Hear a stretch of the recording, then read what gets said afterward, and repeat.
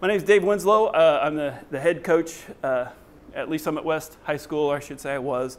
Um, I stepped down this year, so especially this nugget that I want to give you at the end, I can't take it with me, so I want to be able to give it to somebody else. Um, so uh, I've been coaching for eight years as a head coach. I've been kind of helping out, doing assistant coaching for a total of 10. Um, all right, wait a minute. That's, that's all the way to the end. Don't look. Spoilers. Okay. Um, I'm going to present these mistake, these common shooter mistakes in relation to the 11 steps. It's just easy as a coach to, to organize it that way. Um, it's easy for you to remember and recognize, and it's easier for you to coach that way. Uh, when I very first started uh, the NASP as coaching, you know, I, I seen that, that little poster that was up there, it's hanging on the net. I was like, that's kind of cool. You know, it's hanging in the elementary school. Uh, you know, and it's kind of helping out. It's like, that's great for these elementary kids. They don't know what the next thing to do is. And kind of thought, uh, uh, you know, that's just a little, that's little baby steps for the little kids. Um, and I was, I was horribly wrong. I started coaching high school. For the first two years of high school, I didn't even have one of those posters partially because we had no money and I didn't want to spend the $20 or whatever it was to buy one because I was mo buying most everything out of my own pocket. So we didn't have one of those, and that was probably the biggest mistake that I made as a coach. Um, so, number one, calming coaching mistakes, not sh shooter mistakes. Um, you need to have that. You need to, you need to organize your entire archery instruction you know, around that 11 step, and it needs to be present all the time, especially at the beginning of practice for warm ups. It's, it's very critical. It's not just an accidental thing that NASP started, started doing. Um, if they go to any other discipline, if they go to USA Archery or, or, or, shoot in another discipline, they have a set of steps that just, just almost mirrors this perfectly. So um, that's probably where, you know, when I got USA certified, it's like, well, wait a minute. Maybe those steps that NASP wanted us to use really were a good thing. So um, if if, if I were to define the NASP program as having 10 pillars, I would consider the 11 steps being one of those big pillars. You know, it's very, very important. Um, as a disclaimer, some of the things that I'm going to uh, mention is the way I teach a baseline form to my archers. Um, you can disagree, and you're probably right. Um, there's more than one correct answer.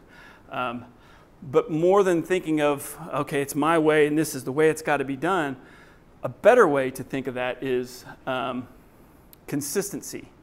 Consistency and repeatability. Anytime you can get an archer to repeat a step the exact same way every time, they're going to be more consistent. Consistency and repeatability lead to accuracy. So it's more about re repeatability. You can have an archer that has horrible form, but as long as they have that same horrible form, every single time they're going to put the, put, the, put the arrows, they're going to make the adjustments and get them all in the middle. So um, a, a, perfect uh, argument, or I should say basis for my argument is Matt Stutzman. Most of you probably know him. If you don't, um, you, need, you need to, the very next thing you watch on Netflix needs to be Phoenix Rising. Um, amazing documentary. Uh, they just created it last year. It's, it's, it's spine tingling I think it made me cry. Uh, it's just amazing. And it, he's, he's one of the featured uh, para athletes that they, they focus on, and it's just incredible. Um, good teaching moment for your kids. You should totally teach them. Um, there's just so many, there's so many ways you, places you can take his story. Uh, the one that I use is, uh, you know, we can debate on the proper way to hold the bow. I can bet none of you have ever taught any of your archers to shoot and hold the bow like that. So um, the reason he can do that is because he does it exactly the same way every time. So consistency is um, really pivotal for accuracy. Um, you know, he's a para archer, but his goals is not to be the best para archer. His goal is to be the best archer, period. And he beats a lot of uh, archers that have the disadvantage of having arms to shoot with. Okay, so going right into the steps, that's where I want to talk about these uh, shooter mistakes based on the steps. Some of these are pretty basic, especially here at the beginning, and most of you know these. Most of you probably gotten these, these from um, some of these sessions or already. But um, the number one thing that I see even my advanced archers doing is uh, they don't get their stance set until the whistle blows. Um, when you have them go up to the line, and especially if it's in a tournament or whatever, they have anywhere from 30 to 60 seconds. Now that's 30 to 60 seconds that you know you have they're, they're in a conscious state of mind. They're not in that trance that they get in when they start shooting. So this is one step that they should be able to get 100% right every single time. So that's, what is it? I don't know. If you break down percentages wise, that's 9%. They're 9% there. So there's no reason they can't get this right, exactly right, every time. So you got to get as many of these steps exactly right. And by right, I mean repeatable uh, every time. So get, have them get their stance before the whistle, before the shoot whistle. Um, once they get their stance set, you know, I mean, I, um, they shouldn't move it. I tell my archers, if you, in, in, any of these steps or any of your instruction, if you can give them some sort of a visual, it just makes it click and it makes it memorable. I tell them, um, you can tell them, uh, open your stance, and they'll go like this. Well, no, that's not really what I mean by open. By open, I mean this. But, you know, so there's a little bit of a disconnect and confusion that can happen. So, uh, for distance, you can say shoulder width, but, you know, some kids have shoulders this wide, you know, so that doesn't really quite work. I like to tell them, if you could draw an imaginary line to your armpits, to your heels, you know, dotted line. Imagine this, this dotted line. That's, where, that's, that's the distance you need. Give or take, either direction is going to be fine. That doesn't matter as much as long as they're doing it the same way every time. Um, like to have them open them up. One of the things I can have them do is say, well, you can take uh, your, you know, your front, front toe and have it line up with, okay, maybe the second eyelet on your shoes. Um, or something like that that makes it repeatable every single time. Which then brings up another um, esoteric, kind of silly thing that you can really make fun of me about, and I, am okay with that because I deserve to be made fun of. They should shoot. They should have a pair of archery shoes. They should shoot with the same shoes every time. Um, it's a little thing, but I think more than you know than an actual physiological um, step. I think it's a mindset. When they put their archery shoes on, they know they're going to shoot archery. It's just like wearing a tie. You know, I'm wearing that power suit. I don't wear suits, by the way. I got that power suit on. It's a mindset. I got confidence. You know, um, and I, I, I, don't wear a tie unless you die. So, um, the other thing about flat shoes, like Converse or Vans or anything like that, is it allows the metatarsals to spread out, gives you a bigger platform. You know, you can probably talk to a lot of really good archers, particularly if they're in, they're in the bare bow line of archers, um, that love to shoot barefooted. I mean, it's because the, the, the, feet will spread out and it'll give you the biggest platform to shoot from. So really tight uh, athletic shoes sometimes will squeeze, you know, and uh, yeah, it could be debated, you know, and I, I, I, wouldn't be able to argue it with a straight face. But more than anything, it's a mindset. It, it's that kind of a mindset that if it starts when they put their shoes on and goes all the way to the, to the point where the whistle blows and they take the line, it's a hundred different little things in the mindset like that that can have a difference, you know, and that's probably where you're going to get mileage from. Um, your, your, your archer's archery shoes should stink by the end of the year. So, because they're sweating in them. I had a, this is my daughter's feet, by the way, and she had a pair of really blinged up, sequin, stinky shoes, but she loved them. Um, but they're flat, you know, so um, psychological thing more than anything else. But if you're going to line up your stance, you know, and do all that thing, it's just one of a hundred things that you can do to, for repeatability. Once they get their, they, they should get their stance set before the whistle blows. That's free time. That's like, that's like being in basketball and not taking any of your timeouts. You know, it's like you, you're, you're not using your timeout. The timeouts are there for strategy, and you know you're going to be better if you use those timeouts. Use that time before the shoot whistle goes to get their feet set. Once their feet are set, they shouldn't never move them. They should be glued to the floor. You need to give them some kind of a visual like that. They stick to the floor, you don't move them. The reason is, is because if they make an adjustment on that first arrow and then they moved their feet, well, you've introduced a new variable that's going to change any adjustments they make. You got to try to eliminate those variables. You want as many constants as possible. Getting their feet glued is a constant. So um, you need to have consistent placement every time. Nock. Uh, the, what I've chosen to talk about is really more of a an equipment issue than anything else, but um, You want to have them get in the habit of checking uh, vane alignment to the nock placement so that the, um, the nock is lined up with the index vane. And you also want to have them, this might be something lesser known, but these archers get good really fast and they tear the heck out of nocks. And if you see it like, I mean, obviously the first one you can tell it's damaged, but um, some archers will miss that even, and then they get up to the line, they got to raise their hand, yeah, I got a damaged arrow. Messes up their whole shot sequence. But uh, the one that doesn't get caught a lot is those little, these little burrs get on them, and that's anytime they hit them. If it's got a burr on it, you can still shoot it, but it's not going to shoot the same as the four other nocks that are brand new because it just takes a little bit to change that nock, of, of hitting that to spread it just a little bit to make the nock tension a little bit different. You have um, having five arrows that have all the exact same nock, ten, nock tension is also key. I mean, that's that again another esoteric thing, but it's one of a hundred esoteric little things that can make a difference between a 295 and a 292, which could be the difference in $20,000 at nationals. So it seems like a little thing, but it's you know it's a, it's a big deal.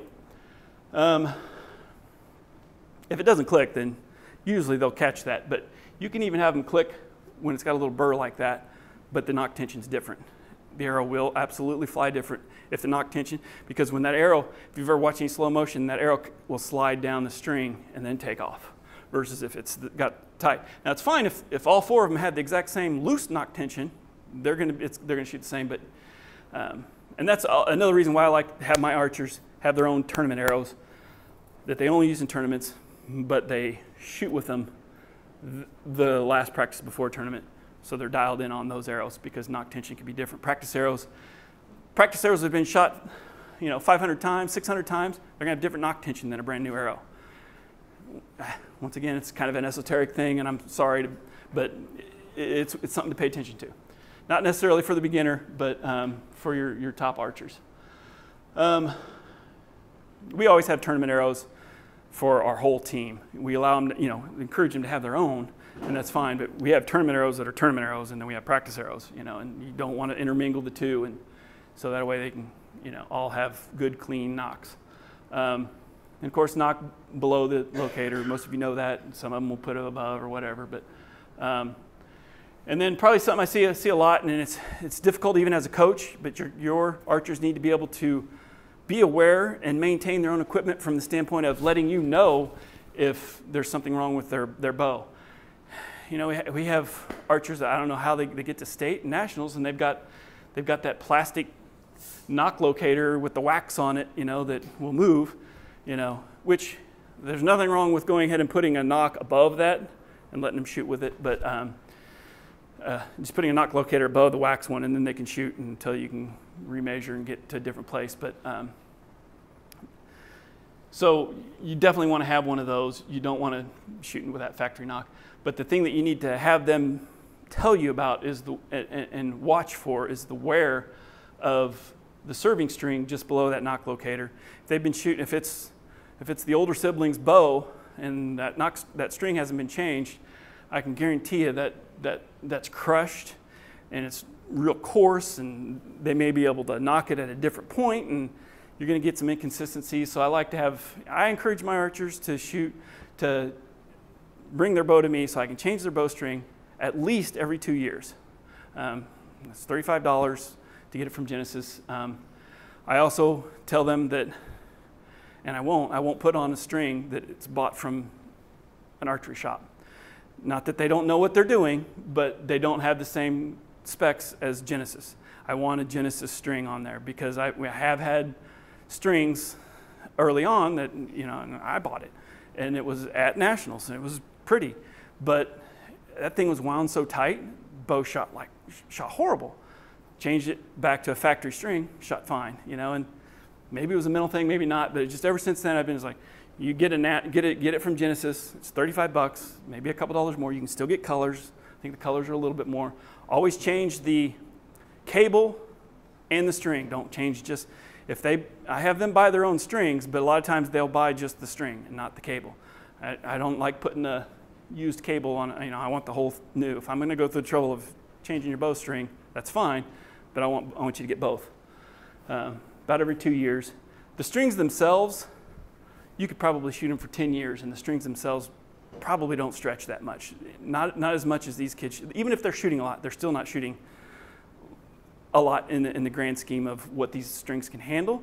But it's, it's the serving that, that wears. And you kids say, well, they can just put a new serving on. But it, there's so many different weights of serving. If you take it to the bow shop or Bass Pro or whatever, they'll put a new serving on.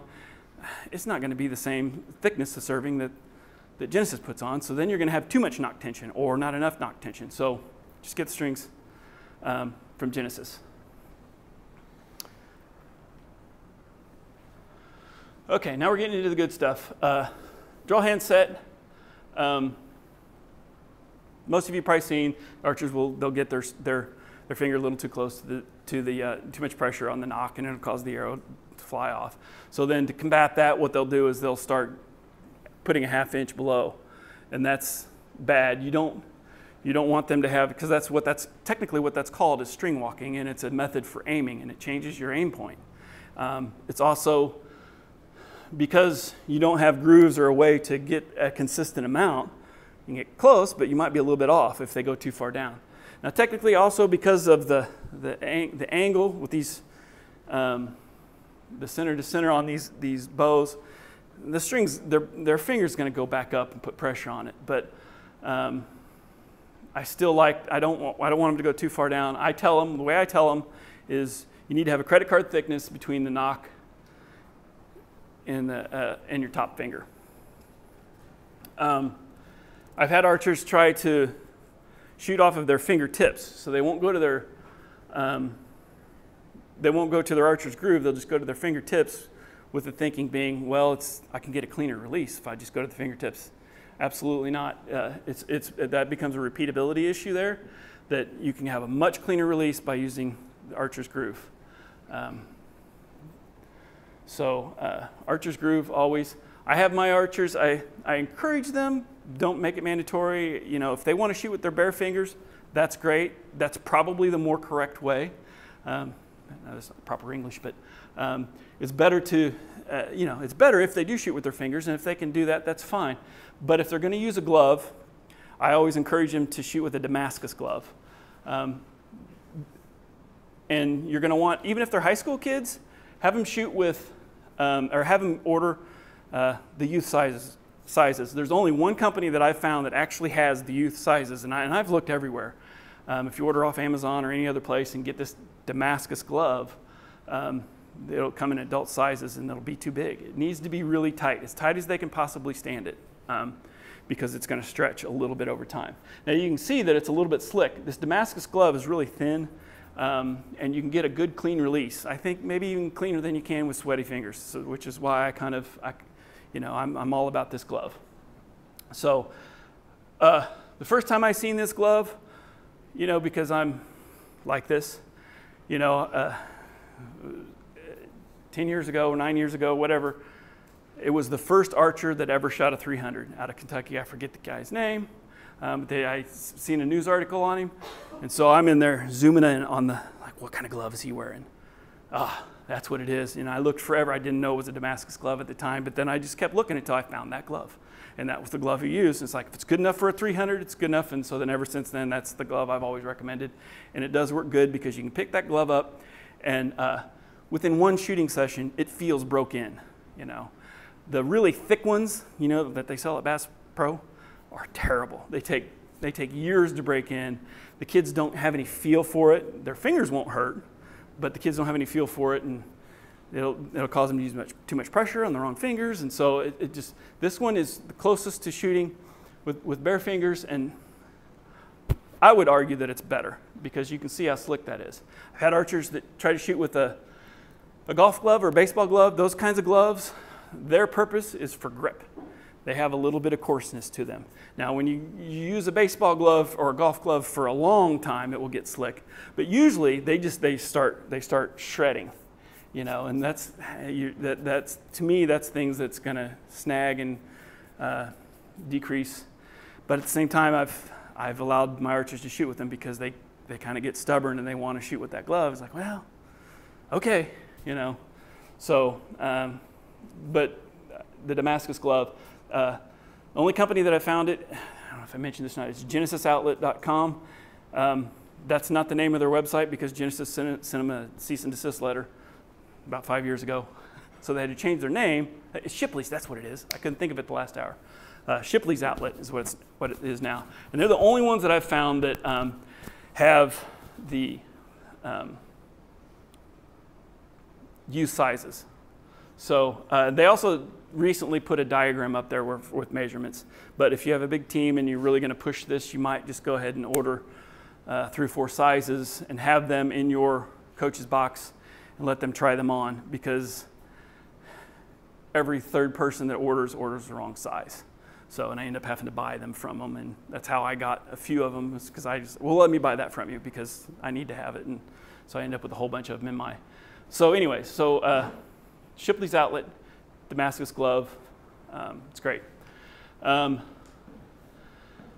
and then probably the number one thing, and this is really easy to tell, if if they if they complain that their pinky or their third finger is hurting, or if you see their arrows porpoising I used to think, well, you know, let me look at your bow. Maybe your nock is not in the right place. And uh, I, I, would move it up a 16th of an inch, down a 16th of an inch. It's like, why, why is that, arrow, you know? And then just here in the last uh, few years, I finally figured out that, okay, what's causing that arrow to porpoise, and you can see it if you go up to the target, the arrows will be in like this in the, into the target. Um, and what causes that is they're putting too much pressure on this third finger. Causes it every, every time. So, and you can see it when they shoot, when they, when they draw back, and you look at that triangle that's created from the cams, eh, it'll be straight. If they're holding it right, it should, it should pivot and come back, almost like they're shooting with one finger. But rather than trying to have them shoot with one finger, which is, I've seen a kid do it over there, and you, maybe you guys did too, it's pretty amazing. Believe me, we've tried it, and that is hard. You know, that would take a lot of practice. I'm not saying it's not a good thing, but don't feel like you got to try to have them do that. Just have them, just have them, just, just borrow 10% and 20% from these two fingers, and then they can get the same, almost the same benefit of shooting with one finger. Now you're still going to have a little bit of pull. So when they pull, they should be able to feel most all of that. You know, it's almost like they're shooting with one finger. They're holding 70% of that weight on that first finger. And that's, that's a big thing. It's a, it's a really big thing, but they have to be consistent about it, and that's a tough, it's one of the many things that's tough to change later on. Oops. Okay, bow hand set. Um, this is a really big one, and this is one that a lot of archers, new archers and experienced archers get wrong. Um, for some reason, you know, they all they all know that they're not supposed to grip the bow. That one, everybody picks that one up. It's the, even if people don't know anything about shooting, oh, you're not supposed to grip the bow. Well, what happens is then people will, they'll do this. And they get their fingers so they'll almost go, go overcompensate for it. The way I like to teach it is um, with the lifeline, like you've, but I got to, uh, you know, draw a lifeline on your hand or theirs. If uh, I'll draw it on mine. I teach high school kids. Um, so I can draw on their hands. You probably wouldn't be good to be sending elementary kids home with Sharpie on their hand, but um, you know, I'll draw on my hand and I'll show them, you know, this is, this is how you got to do it. I want to go and I go down the line and check, make sure every archer's, every archer's, that riser is only touching the pad, their thumb pad. Shouldn't touch any other part. That, um, that, what that will prevent, number one, is string slap. So a lot of archers, new archers will want an arm guard well, you're just covering up a problem in the form. You know, they shouldn't need an arm guard. No, no NASP archer should need an arm guard. I, I, say that, but I did have one archer that had some kind of a contorted, deformed elbow that bent this way. Like, I've never seen such a thing. You know, and then you got to get a little more creative with maybe a more open stance, which you know, um, just so that you can open it up so that so that there's clearance. But um, 99 0.9% of the archers, this will fix string, string slap. Um, this is also very, very critical. Um, the whole bow gripping thing, it's really, it's really important. There's two points that you're holding that bow with, and it's your anchor and it's, it's, it's this. So you got to get these two things right. Um, there's two ways, two methods of thought, or two ways, two things that you can, you can see that I, you know, have my archers shoot. I have some archers that will, that can do this well, um, and that's where there's no grip on the bow. It's completely relaxed. Their fingers are behind. and they keep their bow arm straight. And when they let go, the natural weight of the bow will allow it to rock back. It's very pretty. Um, when other archers, there's a team here in Missouri, Carl Junction, uh, you can watch their whole team. You know, I remember at Nationals watching their whole team, they were all shooting fairly close together, and you could just see every single one of them. They were all shooting with that exact same form, and it's like, that's amazing. I mean, I would love to be able to have a team that every single one of them would do that. Um, one of the things that that does, probably the biggest benefit, is not that it rocks back and it looks cool and makes them look like they know, know what they're doing, is that in order for them to get that feedback that that bow is rocking back, they got to keep that bow arm up. And dropping the bow arm is, is a huge mistake that so many archers, you know, particularly if you have an archer that um, they shoot four tens and they drop an eight. And it's six o'clock, eight. Guarantee you they drop their bow arm. It just almost always that's what it is. So um, it's, it's, a, it's a big mistake that they make. So having the bow rock back, in order for them to get that feedback of, yeah, I'm an awesome archer, look at how pretty this looks, they've got to, they've got to keep that bow arm up. I have my archers keep their bow arm up. Uh, you know, we do drills, and it's like I want to be able to look down the line, and I want to be able to see every bow. You know, we'll call out the commands. I want to see every bow on the line up, because I'm just trying to make my archers look the same like Carl Junction. Um, and it's like, I want to see every, every bow arm up for two seconds after the shot. You know, and it's difficult, even when I just told them to do that. And it's like, no, I, I, maybe half of you. We're doing it again. We're going to do this until I see every archer for two seconds. You know, and that's one of the drills you start out with. Um, two seconds is a long time to expect, but you have to overcompensate because that two seconds will turn into 0.2 seconds when they get in a tournament. But um, the downside of having that beautiful balanced bow that rolls back and the bow arms up is they really get into that. So then they start making it happen. They start rocking with their wrist, then they start bending. That, if they start bending their arm, that is, that's almost hard, as hard to fix or harder than target panic. It's so hard to fix. You know, you tried splints and everything else, and you know, it's, it's really hard to correct. Um, our archery program has 160 kids, and you know, I like to try to find ways to have a baseline form that I can teach a large number of kids and trust that if they adopt this, then they're going to do fine, and I can, I can move on to other things. So um, rather than having them do that and trying to stay on top of each one of them, rocking the bow and making sure they're not bending their arm, because that's just as bad or worse than dropping their bow arm. So the way I have them my archers do it is I have them rest their hand and I have them take these two fingers and I have them put those two fingers on the front of the riser. Now, what that does is it gives them a tactile message to the brain I'm not going to drop the bow. I've got a hold of this, but there's no torquing that's going on. It's just the lightest possible touch on the front of that riser on those front on that little little cold metal part of the of the bow. Um,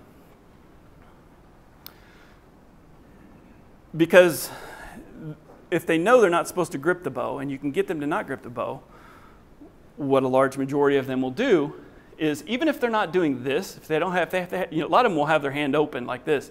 When they say don't grip the bow, this is what they think, they think you mean. Well, then naturally they're going to go like this. That's worse. I'd rather have them, I'd rather have them just grab that bow. Death grip, whatever you want. I don't want to see you doing this. That's worse. That's way worse because there's definite movement there.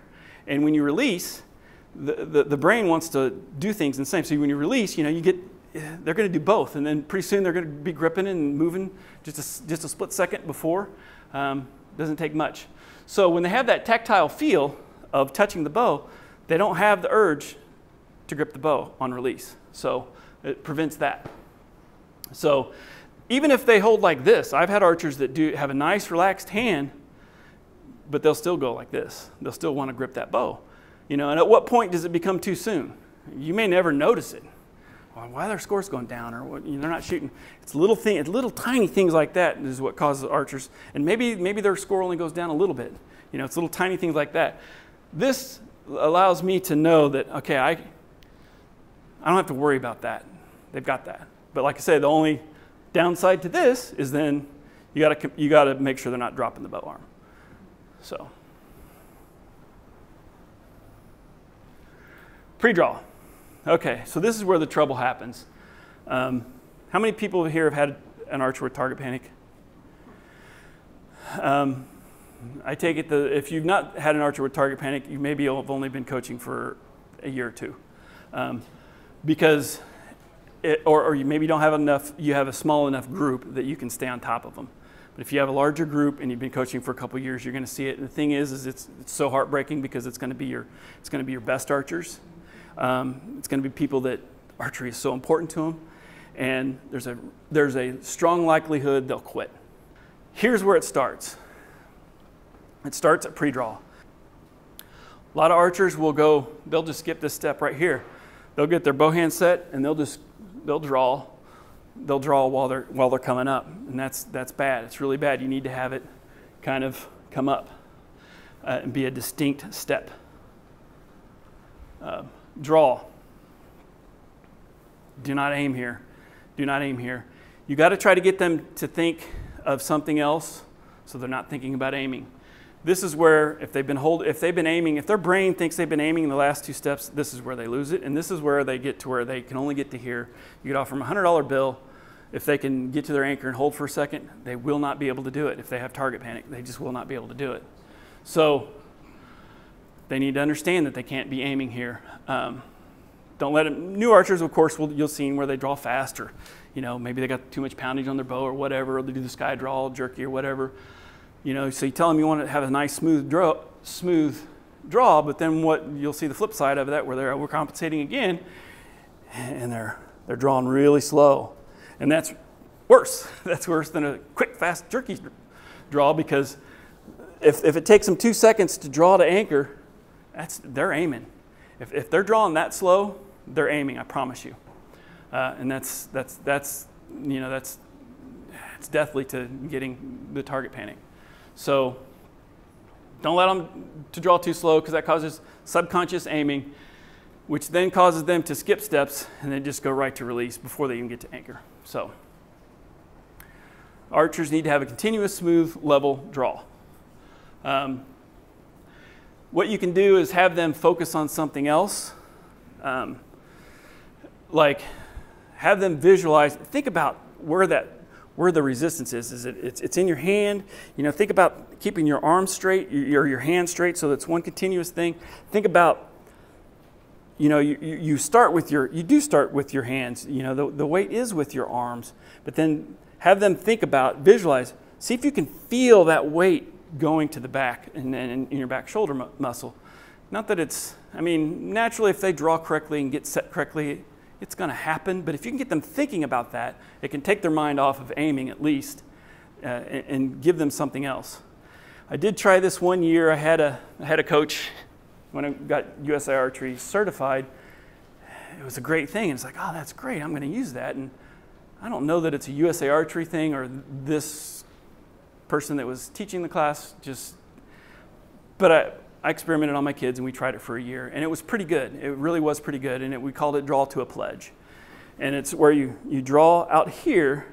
You got to be careful because you don't you can derail the bow if, if, if you're not careful. You can put torque the bow if you're not careful. But you have them draw out here so they're not looking straight down the arrow. You know, so have them kind of draw out here and we call it drawing to a pledge, you know, like you're pledging. But they took it too literal. So what they ended up I had so many archers that were going to here and then coming to here, and I'm just going, oh, what have I done? You know, I've made, I have made a, a horrible mistake here by having him do that. However, eh, nobody was aiming, you know, so I probably shouldn't even bring that up, but except, but except that that's kind of a strategy that maybe as a coach you just have to kind of try to think of ways to do something a little bit different to give them something to visualize so that they're not looking down that arrow and aiming, you know. So you've got to have them have them be focused on the steps and being conscious and not flipping over into that subconscious mode, aiming and then shot going off before they get to their anchor. So,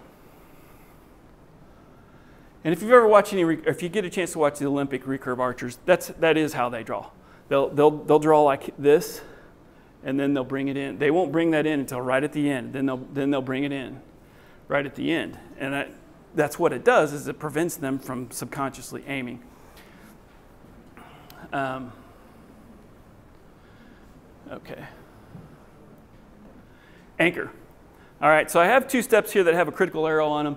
This is critical. I think this is critical. This, I, you know, I did have a, a question in the last uh, class about I, I got an archer plateauing, and um, some of these little esoteric fine tuning things is the difference if you have an archer that's a 270 archer that just can't get up to 280 or have a 280 archer that just can't get up to 290 or whatever.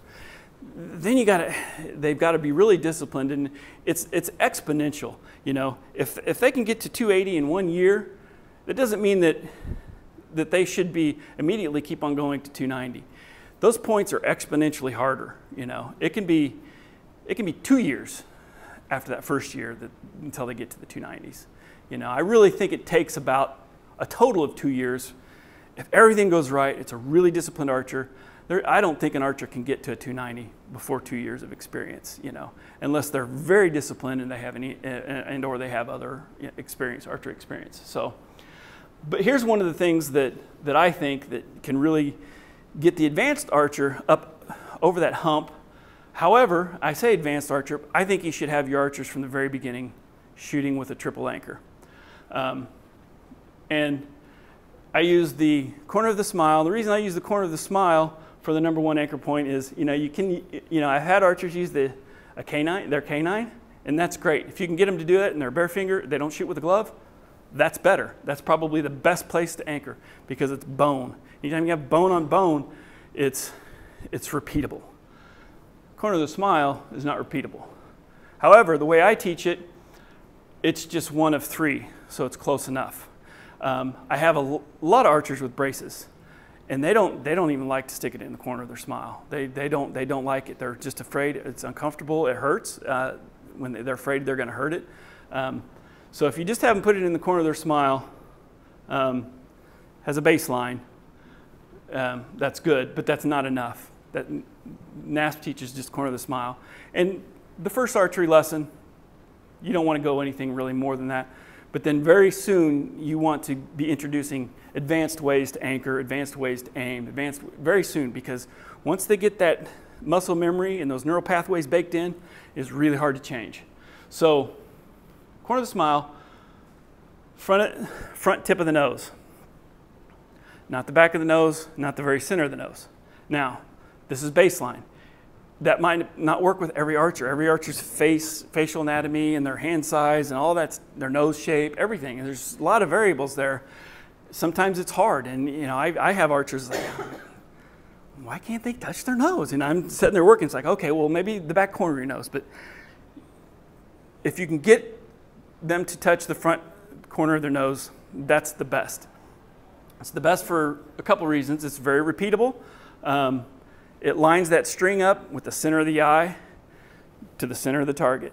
So it gives you, even if I'm, I'm, I'm, talking about string blur and some other types of way to adjust left and right, even if they don't do that because it's that's too hard for them or they're too new or whatever, they're going to be dialed in almost 90% correct if they touch that string to the nose. Because, because um, one of the things that makes, like if you go to an NFA range or USA archery range and you, you, you watch these, these $5,000 rigs that these people pull out of there, you know, they got stabilizers and peep sights and draw stops and clickers and pouches and all of these shooting aids that make them really accurate.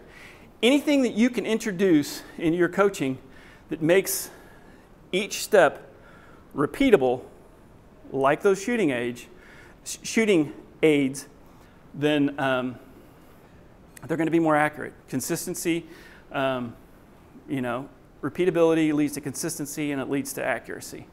So um, having that string touch the, touch that nose, that's just like having that peep sight that those bows, those, those freestyle bows, you know, they have that peep sight that they look through and they look through that peep sight and then they, then they, then they look through the, the sight and then, you know, some of them even have like magnifying glasses and stuff in there. That, so we don't have those things. So what can, you know, a good strategy is what can we do to mimic that? You know, like for, um, for a draw stop. And a lot of people will debate me on this, but um, for this bow, I'm a firm believer in locking the elbow um, because that's like a draw stop. Between this and this, that's a draw stop. You're getting to the exact same point every time. If there's a slight bend in the elbow, that's, that can change over time. It can change in between the shots. So I could be debated, and, and I would tell you, okay, I'm probably wrong. Maybe it is better to bend it, but I prefer to have it locked. You know, that's the way I teach it. It's not something that I really push. You know, there's a lot of things like that that I won't really push archers on. I just kind of like to introduce a baseline form. Here's what I like. You know, they're going to develop their own things in the way they shoot on their own. So, um, trying to trying to uh, create um, things that allow each one of these shots sequence steps to be repeatable. Um, the third, and this is probably the most important, it's really critical, is anchoring behind, behind the ear. And it's not just really behind the ear, it's below the jaw. What I like to do is have my archers hold their hand out, okay, find a way to lock that thumb and be able to do it every time the same way. If you can do that every way, the same way, okay, now you've got, we're starting to work on a, um, a another form of consistency or repeatability. So take this knuckle and this and your and, and the uh, fingernails. What I like to do, and I can, I can that little curve, the little curve I have right here, it just fits right nicely underneath my jaw, and I can feel a little pressure on my uh, my fingernail, and I can get I can get to the exact same. That's like a draw stop, just like the nose. And this, it's like a draw stop. The corner of the smile, that's not really a good draw stop. But what that corner of the smile will do is it'll allow the, it'll allow the hand to be straight, and it's, it's just one more point of, of consistency. So um, you put enough pressure, try it. You can go ahead and try it and just put it like right where you, the corner of your jaw is, put a little pressure right there on the, on the corner of that jaw. It should feel, you want to put enough pressure that it's just a little bit uncomfortable. Because when you get, if you get used to shooting that way, then that's, a, that's another one of those tactile feedbacks that sends a message to the brain I'm in the right spot. I can feel that, just like the, the, the tactile feel of the front of the bow riser. And this was a really big breakthrough that we had with, with some archers that, that really gets them into that next, that breaks, you know, gets them over that hump, gets them into that 281 or gets them to that 291. It's an, it's an accuracy thing. So two is great. You may only be able to get him to do two. Three is better. The kid over there in the other room, she, he had four. And I was like, well, never really thought about adding a fourth, but if three is good, more is better, you know, so it's kind of the American way. So um, the only thing I don't like about using the fletchings, I guess if I was going to maybe justify why I'm not teaching four, is that to get that fletching back, you, you, you're not getting it on the corner of the nose, and you're almost getting close to an overdraw state. And I do have a lot of archers that will overdraw and they get way back here, the bow goes here, and then they have trouble with their left to right adjustment. So,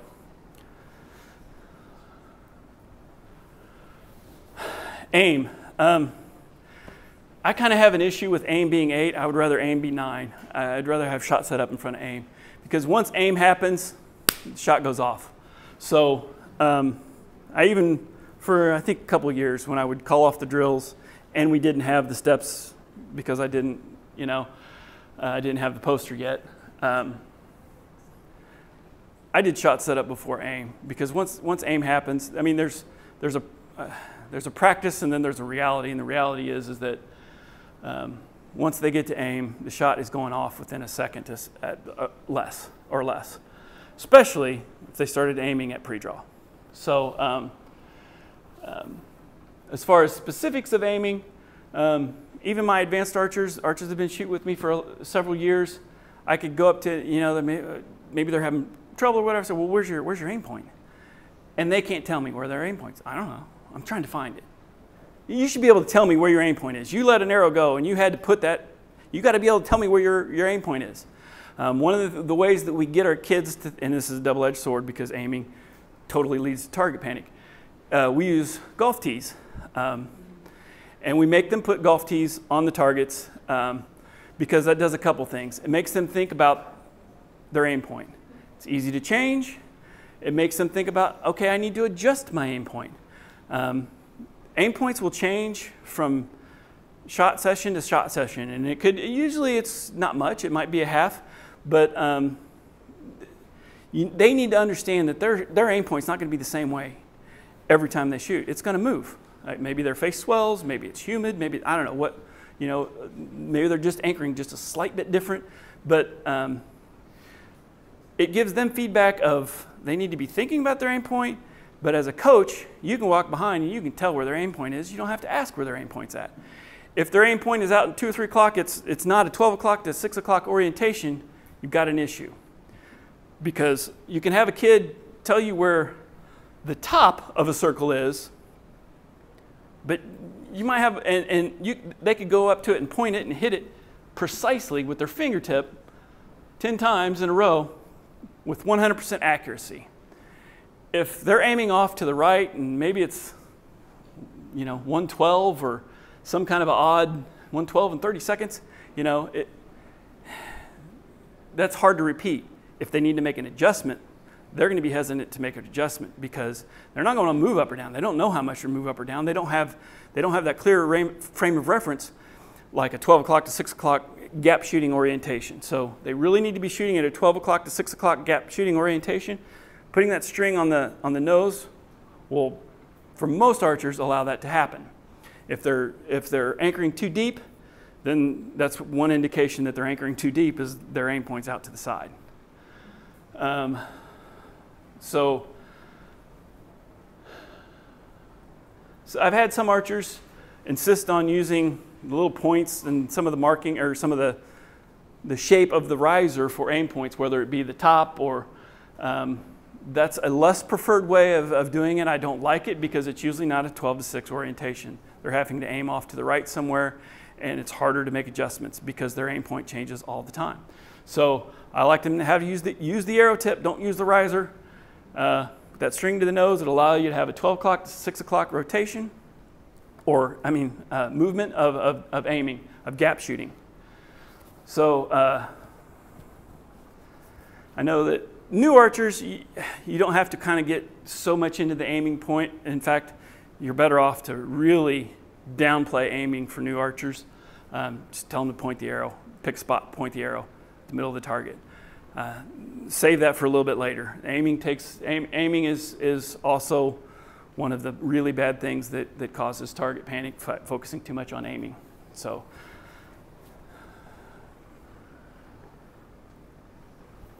shot setup. Um, I wish this was before aiming, um, but I mean, technically the shot setup is, you know, the squeezing of the of the back muscles. I I've taught it. I've taught it a little different. I sort of broke the rules here. I like to tell them shot setup because even your best archers, it, it, it's hard to get them to do some of, of, the advanced things, and it's really hard to get them to do this, it, to you know, do the, the squeezing of the scapulas and stuff like that. And uh, once again, practice versus reality. I use this. I use this to get them to adjust their string alignment left to right. Um, and it's probably, I definitely wouldn't argue that that might be the wrong way to do it, but um, I like to have my archers um, use string blur to adjust left to right. Um, and the reason that I have them use string blur left to right is because, uh, or well, I should let me back up here. As long as they're shooting with that string on their nose, they're going to be they're going to be within the yellow um, from one side to the next. But, and, and coincidentally, you have about that much adjustment to get them to understand how to execute string, string blur and string alignment is um, you can just have them take that string blur and find it, and then they'll say, okay, yeah, I see it. And it's blurry and it's fat. And it'll be about the thickness of a, um, a finger because I shouldn't, even if I don't, it, it, might be too close to the eye to even focus on. You know, but they're going to be focusing on their arrow tip and or the, uh, the aim point on the target. So that string blur is going to be blurry, but it, you, they can see it enough that they can align that string blur with the side of the arrow, with the arrow rest, or maybe even further over, or they can look around the string and put it on the other side of the arrow. And the way that string blur, moving that string blur left to right, what this does is it allows them to um, get their left to right adjustment. And like I said, I'm, I'm, I'm not correct in, in teaching it this way, but I like to have them do their shot setup and do their string blur and do this before the aiming step. You know, I tell them to do your string blur, check your string blur, aim, release. And that's the way I call out the steps. Um, now, left to right adjustment is easy. They should be able to get that dead on. There's no reason your archer should be missing left to right. If they're touching that string to their nose and they're doing the string blur, they should be able to get the left to right. But for some reason, almost all archers, they always focus on I'm high or low. Now, they may say I'm shooting left to right, but they're not doing anything to try to fix that. They don't know how to fix it. Most of them don't know how to fix it. So you need, a, you need an aiming method to, to fix that, and string blur is one of them. Uh, it's just like you're shooting a rifle. You know, I can take a rifle that's got open sights, has a front sight pin and a rear sight pin. In order for me to hit my target where I want the bullet to go, I need to line the front and the rear sight pin up. And that's the way you think about string blur. It's the same thing. So I can take a, a rifle and I can hold it sideways and I can put the arrow tip, or arrow tip, uh, the rifle front sight pin on my target, but if I'm holding the rear sight pin way out here, the bullet's going to go that way. I mean, that's an extreme example, but um, when you have archers that are just putting the arrow tip where it needs to go, they're only doing 50% of the aiming process. They need to do left to right too. So they need to be able to adjust that string blur left to right. Some kids can't get it, they just can't get string blur. So if they're struggling with string blur, what I have them do uh, is the sight window. Uh, and this is kind of why I like having shot set up before, and I'm kind of borrowing this to do something that I think is more productive with it, and then have aiming be last, and then the shot goes off. Is, you know, I'll have the riser, like, okay, if you can't get string blur, look at where the riser is. Okay, put your, your arrow on your aim point. You got your arrow on your aim point, it's bottom of the six or bottom of the 10 or wherever it's at. Okay, now where is your, where's your riser at? You know, and then they can take the riser and they can put the riser at the three o'clock spot on each individual ring or number. That's repeatable, that's easy, easily correctable on the fly during a tournament, and you know, they need to be able to do that on their own. They need to be able to make adjustments. It's, it's just like clicks on a scope or whatever, left to right, and, and then up and down. But most, most archers don't pay any attention to the left to right. They only pay attention to the up and down. So 50% of your accuracy is left to right. The other 50% is up and down. So string blur and using the riser, the sight window. And the reason I like to have aim after this is because I like to have them change their focal length, you know, focus on finding, trying to find your string alignment in, in your sight, sight window, then focus on your arrow tip, and then the very last thing I want them to do is focus on the aim point, trying to keep them from focusing at the target because that's one of the things that makes the shot go off. and then release. Number one thing you'll see is they'll start plucking. Um, only way you can fix it is with a string bow. If they start plucking, you can tell them to quit plucking, but they can't fix it. They can't fix it unless they use a string bow, a bow. And it can't be a stretch band, it's got to be a string bow because you have that resistance and they can pull back. Now, um, our middle school, we have 100 kids on our middle school team for the last three years. Um, only way we can get 50 of those kids on the line, we can get 25 targets, 50 kids on the line. I take 50 of them for 30 minutes. We go do we go do stretch bands and string bow. It's really hard to keep 50, 50 middle school kids engaged um, for 30 minutes before they get to go shoot the real bow. Um, but the ones that do it first, they get the, that war, that good warm up, you know, versus shooting and then going to this. But um, the only way you can fix plucking is with a string bow. Uh, I like, and I like it for that. I prefer the stretch bands because it gives them a better feel on release. Um, it makes them feel like they're shooting something. Um, we did buy a set of um, AccuBows, but I wouldn't recommend getting because they're really cheap and they break and they're, they're, they fall apart and the kids jack with them and it's, just, it's a mess. They can't hold on to them, they drop them, they break. So um, the stretch bands are great. Use the stretch bands. But have string bows too because it's the only way you can fix um, plucking. Um, creeping forward where they start doing this, only way you can fix that is with the string bow, and they've got to do the, fall, the pull through. Static release won't work. You know, if they're, if they're creeping, they, they've got to change to a, to, to a pull, a pull through. They don't, and when you're teaching it and drilling it, it is, it is okay to have them over exaggerate it and have them put that thumb on the shoulder because they're not going to keep it that way. They're going to eventually go to something like this. It's a little more natural. Sometimes when you're doing drills, you have to over exaggerate to get to get that compromise of somewhere in the middle. Um, and that's, you know, that's the whole static release pull through release. Um, I don't know if I, I can't remember since I taught this just last class if I went over that or not. I have a lot of archers that will just do the static release where they just open up. If they're shooting well, I don't change it. Um, as long as they're shooting well and they're not creeping um, and they're getting a good clean release, I, will let that sleeping dog lie. Um, I did try to fix, I had an archer that was shooting great. It's like, the only thing you need to do is just do that pull through, you know, that really pretty pull through. Took forever. She finally got it. Shot her worst high school score ever. That was a, a tournament in the morning. She shot a tournament in the afternoon. I said, we made a mistake. I should have never had you do that. I should have never had you change it. You weren't broke. We should have tried to fix it. Go back to your static release.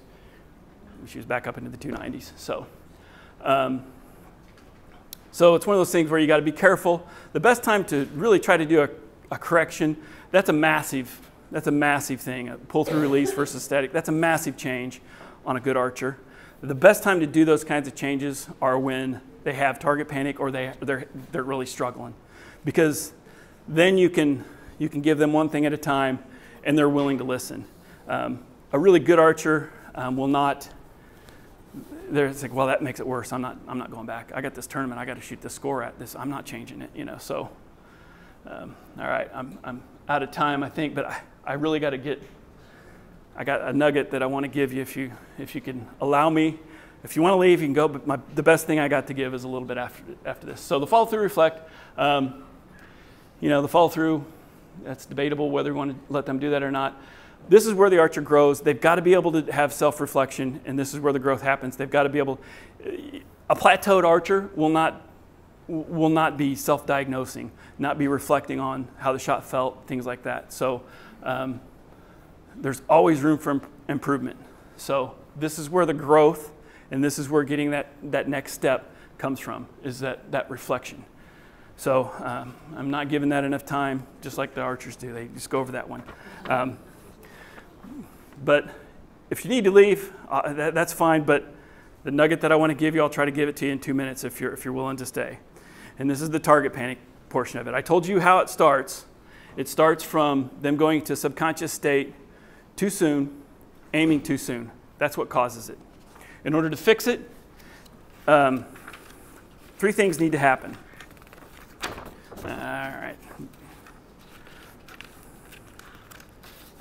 Um, you have to have an understanding of what target panic is. The archer has to have an understanding. You have to talk about it. It's not a taboo Lord Voldemort type of word.